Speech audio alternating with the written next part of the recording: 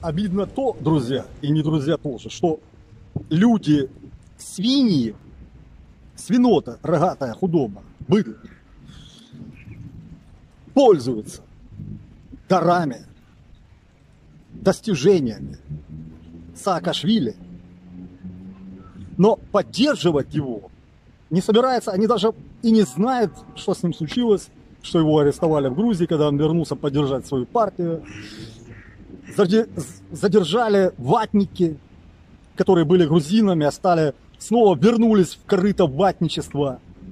Позор для Грузии, позор для Украины, прежде всего. Для Польши не особо позор, потому что они успели стрибнути в НАТО. Поэтому им пофигу. А мы не успели стрибнуть в НАТО.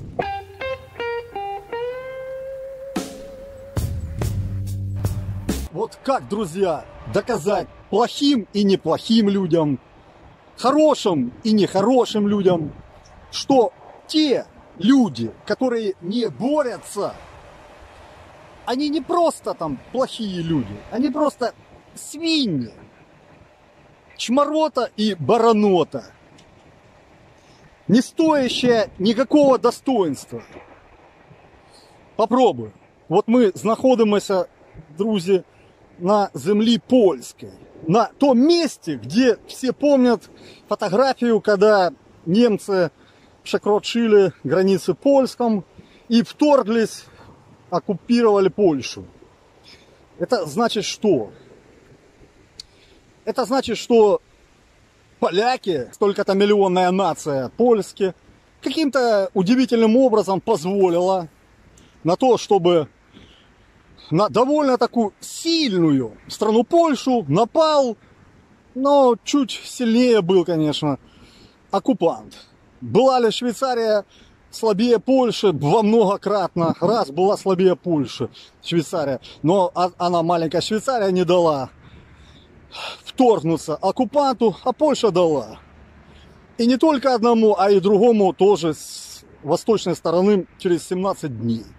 То есть, что бы было, если бы Польша не дала вторгнуться оккупанту? Она не стала бы ракостоящей страной. А другие, и вторжение произошло бы, и борьба с Гитлера с СССР были бы через другие страны, через их территории, через территории тех стран, которые были более ракостоящие. К сожалению, мы должны сейчас использовать такие термины, а не просто упанишат термины не просто там терпильские, самообманные, что вот напал ли, напал оккупант, то все. Он напал, потому что народ не боролся. И, конечно же, главная причина, почему польский народ тогда, нация не боролась, потому что была поражена воля этого народа. А в чем заключалась их воля, как нации? В предводителе, то есть шевутся, то есть в лидере. Их воля заключалась. А их лидер умер в 1935 году Пилсудский. И пошли потом лидерюшки, чморушки и тому подобное, щуры, крысы и тому подобное. Там шмиглы. Ну, короче, предатели, типа там шляхта вот такая вот, которая издала потом всю Польшу, а за ней покатились и все поляки. Концлагеря и Катынь, Харьков, Медно и тому подобное. Сейчас же Польша, свободная страна, демократическая, богатая, зажиточная. И в 100 метрах отсюда происходят э, выштиги собачьи. То есть люди веселятся, им они даже не слышали, кто такой Ани Саакашвили, они Грузия, они Украина там э, чутком слушает, что там украинцы на них работают. И все. То есть, я думаю, не нужно иметь особой одаренности, чтобы не понять, покуда был Пилсудский, покуда была Польша. Ну и consequently, I have to say, покуда был Саакашвили, потуда и были реформы в успешной после реформ Грузии. Все очень просто. Приходится прятаться, сами понимаете, ветер, море. То есть, смотрите, малюсенькая Грузия. В то время, когда на нее напал огромнейший совок, постсовок путиновской России. Одна Татьяна, вот она ведет блог, кто слил Донбасс, кто слил Луганск, Донецк и тому подобное. Хорошая женщина интервьюирует политиков всех. И вот она рассказывает, что когда она зашла на какую-то хрень, типа Украина, украинский так называемый Давос, подлинский гнит вонючих смарка олигархов, продажных стерв, шкур, гнит, то она кого-то спрашивала, говорила, что как вы можете молчать, терп... ну, не то, что терпеть, как вы можете переносить то, что Россия напала на такую маленькую Грузию, свободолюбивую, которая скинула ры, ну, уркагановский режим, там, где люди стоят постоянно на коленях у урка-олигархов. Как вы можете молчать? А эти гребаные наши украинские олигархи говорят, что да, и правильно делает Путин, что на Грузию напал, там типа такого, что типа нам пофигу, у нас же там газ, шмаз. То эти, только эти гниды не могли вхавать, тупые рыговские олигархи, что, блин, ихняя очередь, блядь, следующая. Что это очень долго протрывало, блин, после Грузии Украина. Жаль, что вообще на Грузию напали.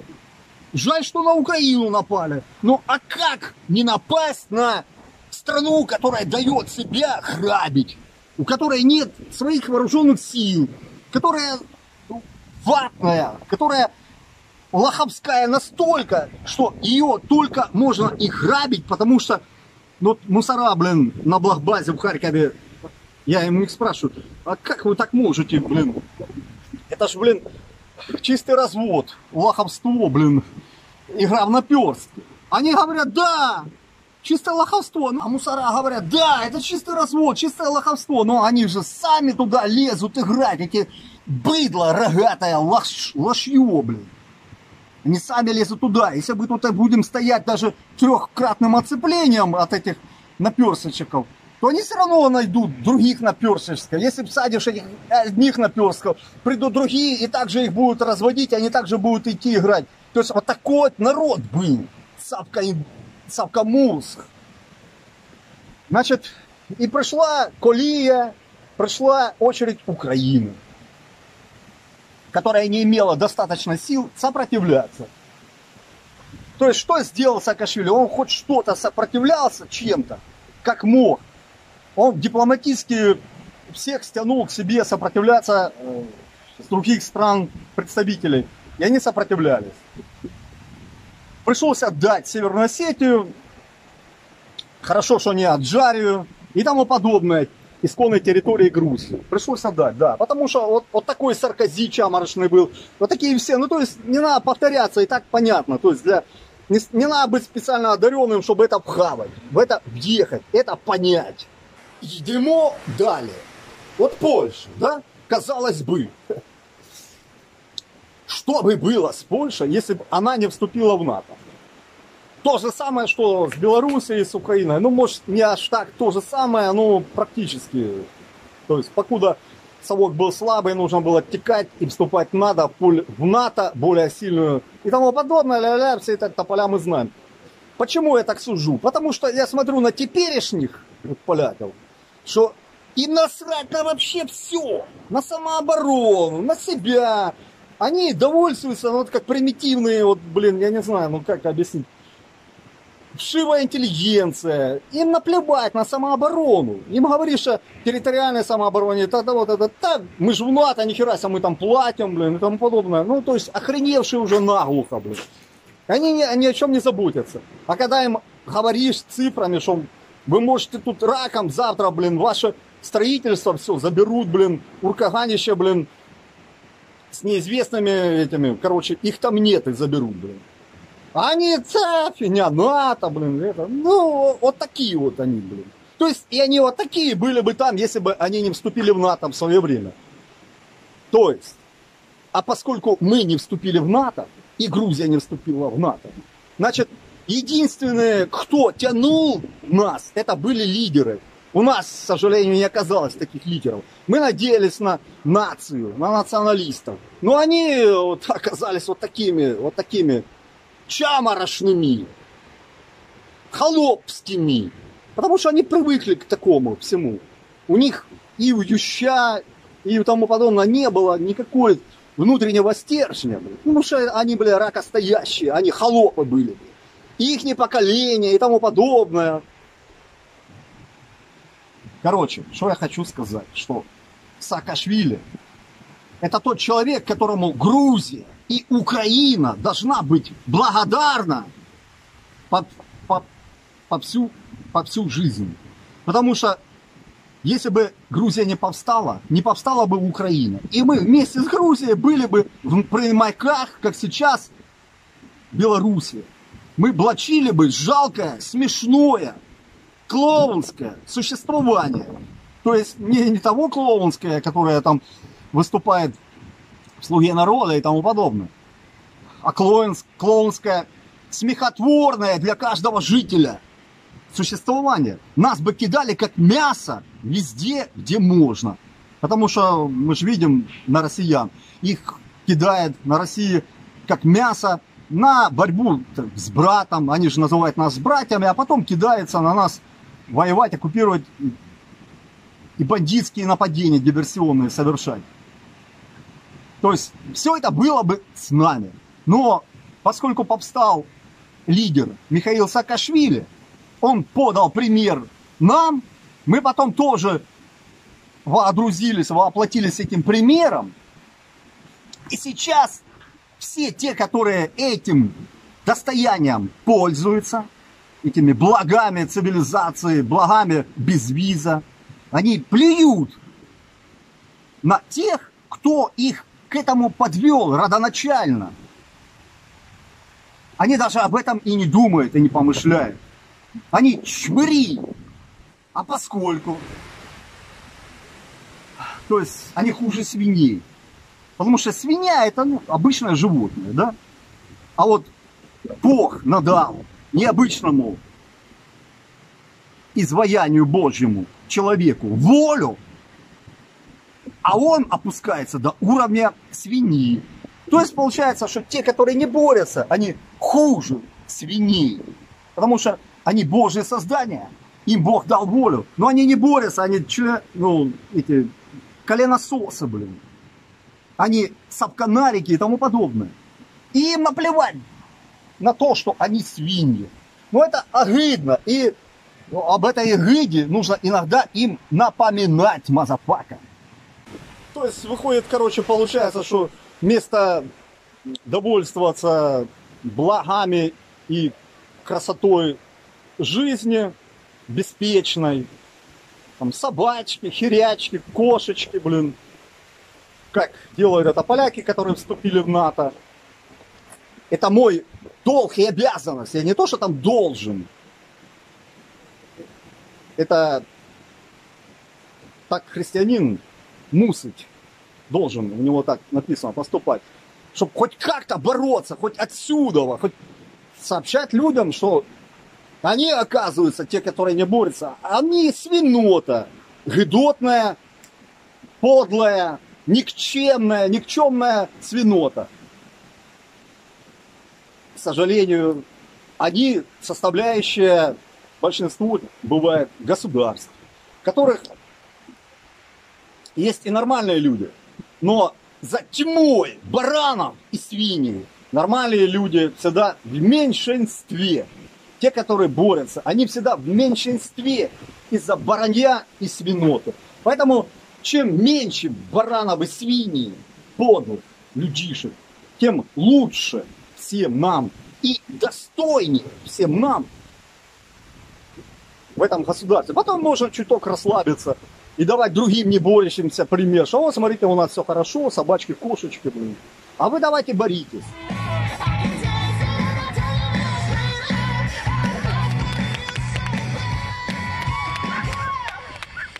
То есть вы понимаете, в каком быдло-стане мы оказались? Если да, если понимаете, то почему не боретесь? Раз не боретесь, значит, вот такое же быдло. рогатая. Но пользуйтесь плодами, достижениями достойных людей этого мира, которым, которые через борьбу которых, через терпение, кровь, смерть, получаете вы, наза, фака, эти достижения и плоды, которыми пользуетесь, но не боретесь так, как они. Но свинота чистой воды.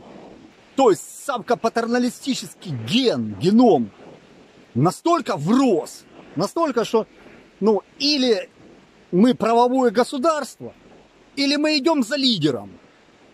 И тогда достигаем успех, выигрываем войны, а потом когда-нибудь создаем правовое государство. Или мы создаем сначала правовое государство, а потом отдаем лидерство тех, которые создали это правовое государство. И лачим жалкое существование в оккупации, потому что, блин, растягивает, раскрадает в правом государстве демократических там выборах, выборов как таковых нет и тому подобное. Приходят мрази, блин, а народ, он только идет за лидером не за правом, не за законом, потому что для него это дикие понятия. Какие права холопы, блин, идут за предводителем, за лидером. Когда предводители дерутся между собой, холопью погибает, там, патриотизм и тому подобное. За одного холопа, за другого. Вы же посмотрите на Порошенко, это ж барыга. А за него сколько, блин, процентов? И все в таком вот, вот таком вот контексте. А люди не хотят об этом задумываться. Ну, баранье, то есть, оно попадает в гулаг, попадает на кичу, блядь, его там дрюкает, тогда ему больно, тогда, когда ему больно, когда его семьи претерпевают, тогда он задумывается. А до этого, что оно доводит до того, что голодомор, гулаги, репрессии, потому что оно попадает в зависимость к оккупанту, блядь. А что оккупант делает? Он оккупирует, насилует, грабит, блядь. И ставит табличку. Кто из нас с головой нормально дружит, здоровый. Кто из нас болен? То есть вы, которые не боретесь, не отстаиваете свои семьи, блин, не, не, не деретесь за свои семьи, за свою отчизну, за панство права, за правое государство. Или мы те, которые вас оккупируют. Ну, вас же миллионы, а мы прошли, вас оккупировали. Лисичан заняли десяток, блядь, сепаров. А сколько там народа? Тысячи, блядь. Да, голые руки, да, что поделаешь. И опять 25, блин. Повторять и повторять, блин, что...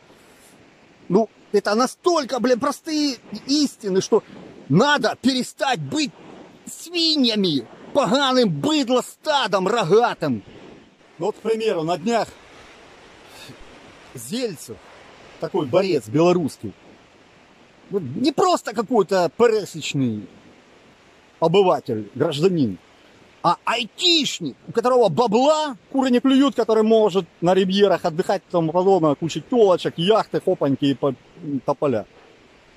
Но когда к нему начали врываться ОМОНовцы, вот это быдло лукашиновское, он их, он взял и начал отстреливаться.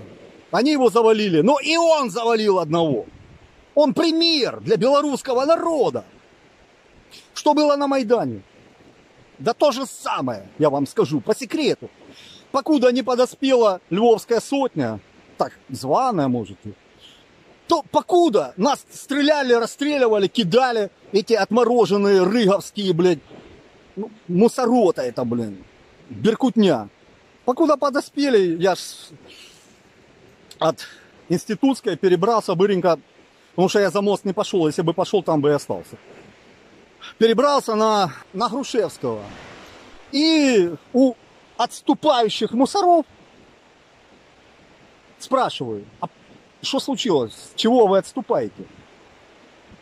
Они говорят, а потому что 16 наших убитых. Ага, вот оно что. То есть, когда их начали валить, они начали отступать, давать народу их не право владеть государством, как говорил Мальцев, народовластие. А до этого они не понимали, до них не доходило, не, они спокойно расстреливали, как в Белоруссии, как в Грузии и тому подобное. То есть, покуда не дает народ отпор, их чморят раком, дрюкают, семьи грабят и тому подобное. Все как на войне. Ой, сколько можно объяснять. Ну и совсем уж напоследок хочу сказать, что вот, чтобы вас не мучать, вот меня в Польшу еще год или сколько уже больше подвозил один бывший беркутовец, который тоже был на Майдане, но который, я так понял, в расстреле как бы не участвовал или, может, промолчал. То есть он меня подвозил, он работал, работает где-то или в Польше, еще где-то. Конечно, он недовольный, как и все мы недовольны. Но я так понял, он недовольный тем, что он не чморит меня, который был на Майдане, боролся с этими Януковича, быдло, беркутовскими уркаганами.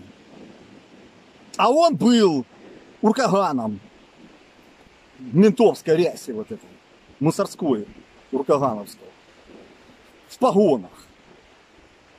Он был по стороне зла, я был по стороне добра. Я такой обалдуйк, за которого погибли майдановцы, благодаря которым я и в Польше сейчас без виз и тому подобное, и ля-ла-ла. То есть, и он меня подвозил, такой недовольный. То есть он перестал быть рыга, урка, беркутней, мусорской. Стал нормальным, обычным человеком. И он э, недоволен этим. Он хотел бы быть же, говорит, и так все хорошо было у него, все лучше, чем сейчас.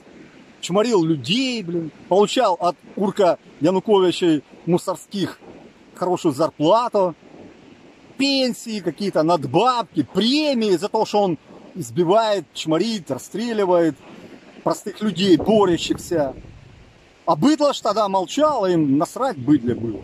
Теперь быдле не насрать, потому что оно ездит по безвизам, по Европе, блин, и работает, блин. Им на это теперь не насрать. Они теперь говорят, да, мы типа за Майдан, и что, что какие-то херню выдумывают. Вот, вот эта подлая сущность, свинская, человеческая, опарышновская. Тем людям, которым Бог дал волю. Во что они ее превратили? В говно, блин. в парашу. Блин. Извиняюсь, чтобы, блин, не банили. Какие-то. А что, неправда надо? Thank you.